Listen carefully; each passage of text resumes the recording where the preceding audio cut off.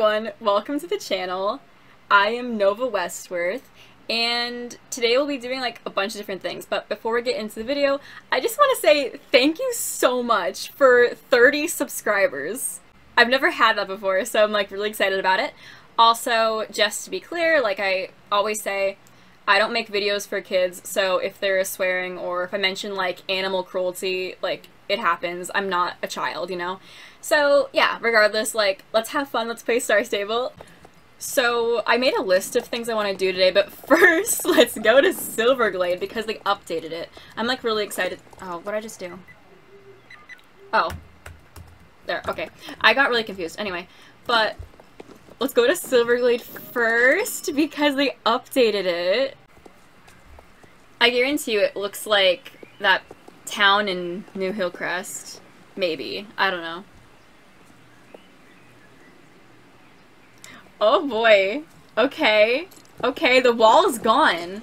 Oh my god, wait. Oh wow. Oh, it's like its own little, like... Oh, this is really nice. Wait, where... What? Oh, this is really cool. I have no clue what I'm seeing right now. This is very interesting. It's like a... Oh, it's like Town Square. Or something. I don't know. It's really nice. It's a lot to look at at once. Oh, there's a little house over here now? What is this?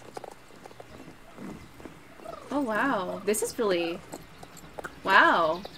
This is different. Wow, I didn't expect this. I expected it to be like... Who was that? Oh, it's Daxton the Tailor! They moved everything. Wow. This is really interesting. I like it. It's just a lot at once. Oh my god, wait. Did they update Marley's too? No, I thought they would. Did they know? No, they didn't. Okay. Wow, it's really... This, it's just very shocking. I didn't think they would add so much. There's a little swing set! Oh, they should have had little kids on it, right? Yeah, they should add more of those, like, people. Like, you know how they have uh, NPCs? I think it's that's what they're called. Yeah, non-playable. Yeah, they should have had like NPCs walking around because this is really nice. This is really cool. I have no clue where to even look. This is so interesting. Is this a clubhouse? Yeah, I think it is. Oh, that's so interesting. Oh, that's really nice. That's really cool. I really- oh, did they update uh, farm? I'm stuck. Okay. Oh, who's that? Oh, hot potatoes. Oh, it's an older store. Okay. Yeah, it's really cute. This is so interesting. Wow. I'm not... Listen, I really like it. I think it's really, really good. I'm just, like, so shocked they got rid of the wall that went around the village because I was... I'm just so stunned because usually they have, like, a wall around things. This is so cool. Oh yeah, that, that, this is amazing, yeah. I really like it. But you know how, uh, I'm gonna go to it. So, by, before you go to the, uh, castle, there used to, you could just walk through, there was, uh, like, a house over here. Yeah, everything is different now. I wonder how the Silverglade Championship is, because everything is, like, moved. Oh, they're, like, the roads are different now. Wait, is that a pasture? Wait, oh my god. I didn't even notice that. Oh my god, there's chickens! Wow, this is... This is so cool. This is really cool. Oh, whoa, whoa, whoa, whoa. What is that? Wow. They said update. Oh my god, wait. You know how the car? Oh, I missed it. I wanted to know where the car... Does it go still go over there? Anyway, so next up, I know this was added in, like, I think last week or something. I don't really know the exact date. But it's Pride Month, guys. It's Pride Month. So we're gonna go to the, uh, you know that, like, the cloud, the hot air balloon? Uh, Mica Stoneground. Yeah. So, let's go check it out. I've been trying to save up Jorvik shillings to buy some of the Pride tack. Oh my god, wait. I saved up almost 10,000 and then I have things I could sell to, uh, you know, afford it. But yeah, let's get into this. Oh yeah, I also have my Pride ribbons from last year, so I have the, the, the, like, bow. They're bows. I said ribbons. Yeah. for the tail and the mane, which is really cool. I'm so hyper today. oh my god. So, I wanted to get this. See, what I want to do, I'll get the leggings first because the leggings are really cool. We're going to get the Pride leggings. And we're also going to get the Pride... I want to get that. Let me sell some things. I'm going to sell my bottle and shorts. Wait, how much is it? 8,000. Okay.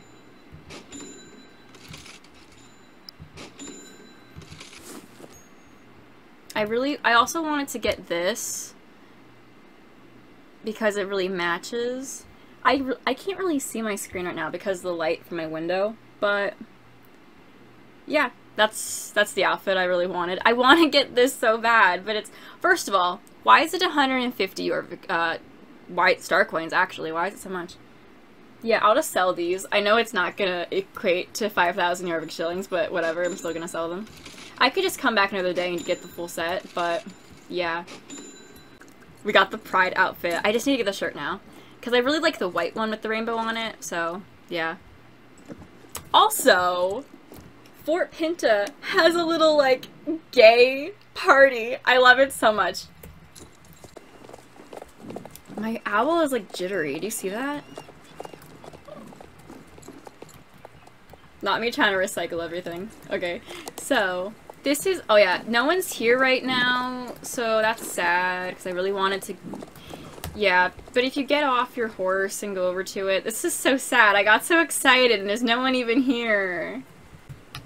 Yeah, but because we're on the topic of uh, gay pride, pride month, trans pride, anything related to pride, gender, whatever, I know there's always that one person in the chat who was like, why are we celebrating Pride Month? No one cares that you're gay. Just stuff like that, you know? But the reason why we celebrate Pride is because we're celebrating how far we have come in overcoming oppression. If you're part of the community, if you are gay, if you're trans, if you have ancestors who were gay or trans, or identified as other parts of the community, you know that gay conversion therapy has happened. Abuse, murders, stabbings, being put into psych wards for being gay. Like, a lot of messed up things have happened to the community over the past hundreds of years. Like, it's, it's been going on for a long time.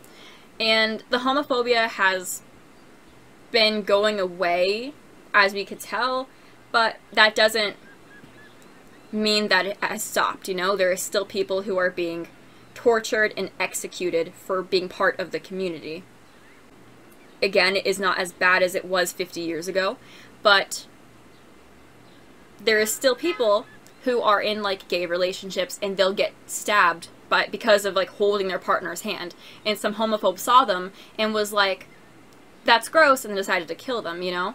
And i know someone's going to say well straight people get killed too. Yeah that is true. A lot of straight people get murdered all the time. But the thing is that straight people don't get murdered for being straight, you know? Gay people are being killed because of homophobia.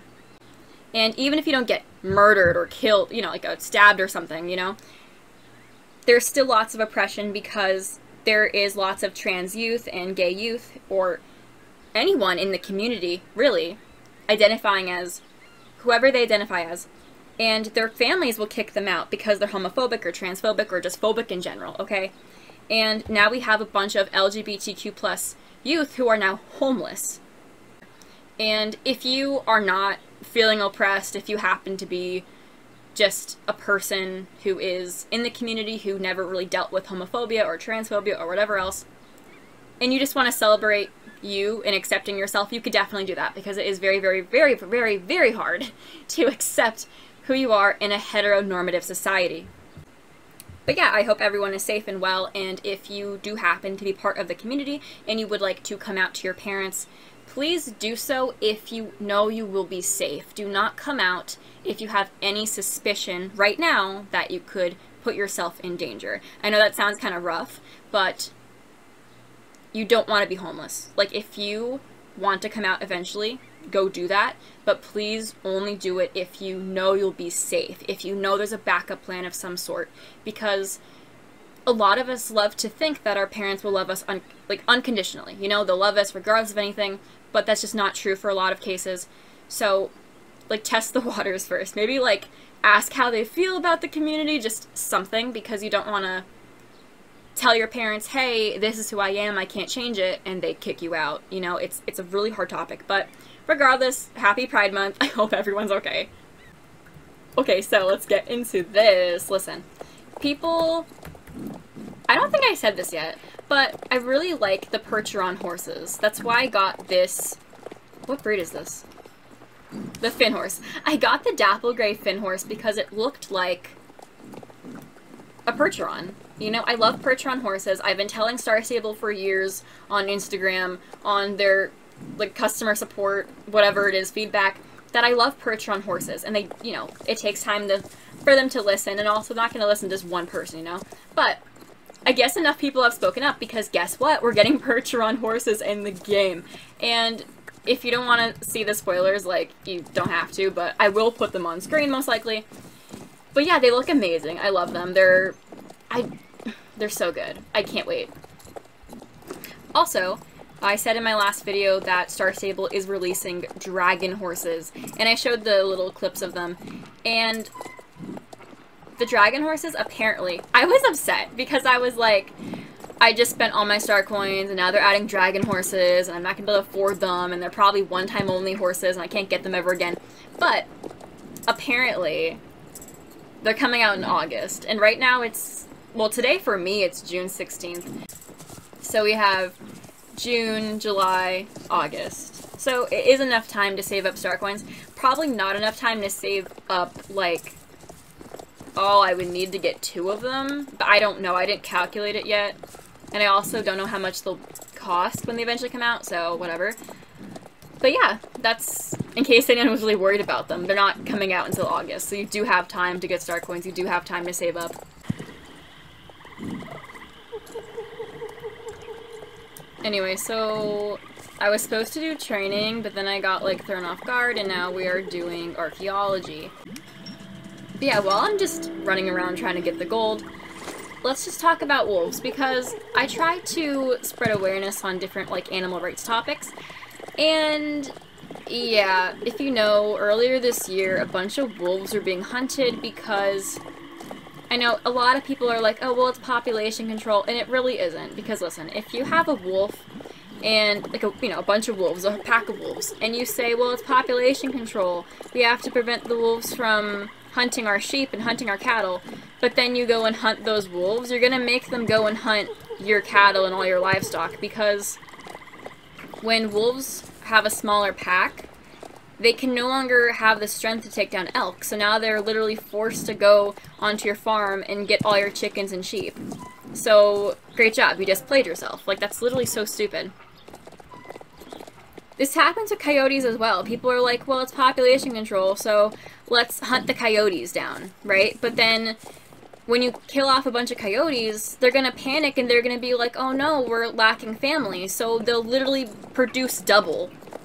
I could be wrong, but it, I know it's a lot more than they usually would. Because when you get rid of coyotes, they're like, we gotta make more. And then people are like, well, what if we, like, relocate the wolves? First of all, how are you gonna gather a complete pack of wolves or coyotes and move them because if you move an animal, it's gonna try so hard in its life just to like get back to where you originally found it. Like overpopulation control is good. No, it's not. Listen, a lot of overpopulation control that's used for hunting wolves is actually trophy hunting in disguise because they take these wolves they hunted and they put them on their wall or they end up selling the fur. Like, it's money. They do that for money. I don't know, people like they're scared of wolves. A lot of people are scared of wolves. I've had nightmares before of being attacked by wolves, okay? But realistically, a wolf isn't gonna kill you. Wolves are terrified of uh, people. And a lot of wolf attacks that happen, it was because the wolves were starving, because their pack was hunted down, you know?